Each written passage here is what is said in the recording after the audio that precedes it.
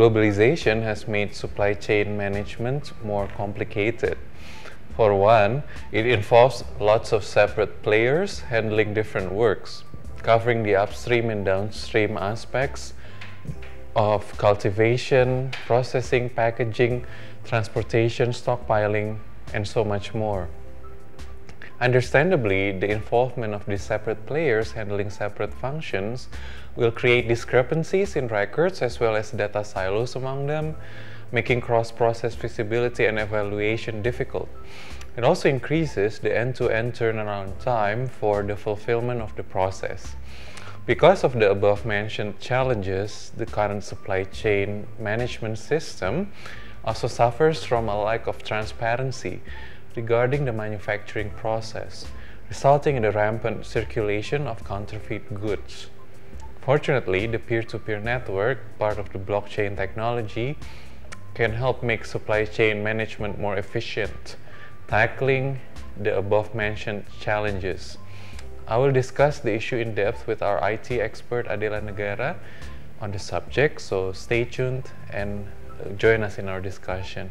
Okay, so can you explain how blockchain can potentially improve supply chain management?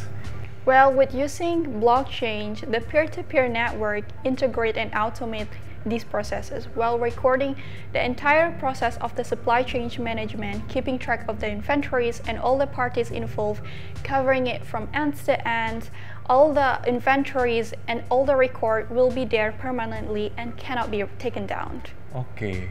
So uh, about security, what about the security of blockchain uh, in terms of supply chain management? Mm -hmm. Well, that's a good question because although there is no such thing as perfectly secure system, but with using uh, decentralized system, uh, it can prevent an attack because with using centralized system, if one server get hacked, then the entire server will go down.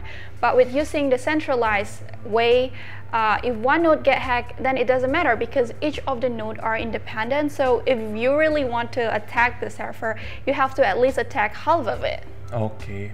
Oh, no wonder many companies have adopted adopted blockchain for their supply chain management. Yeah, can you uh, mm -hmm. name one example? Well, uh, in 2017, there's an outbreak in America about uh, E. coli, and it, it affected the Roman lettuce. So a lot of people get affected to it. And in the same year, uh, Walmart, one of the biggest retailer in America, announced its uh, partnership with IBM to adopt blockchain in the supply chain management.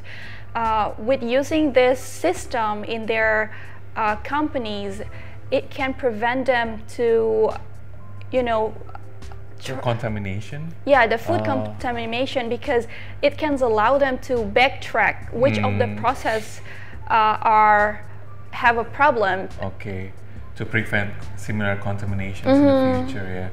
Okay, so that's interesting. And then apparently, like Walmart is not the only one because like Carrefour, like another big retailer, has also adopted blockchain to improve their supply chain management to ensure the safety of their food producers, uh, especially like vegetables and fruits here, which can be prone to uh, contamination by bacteria.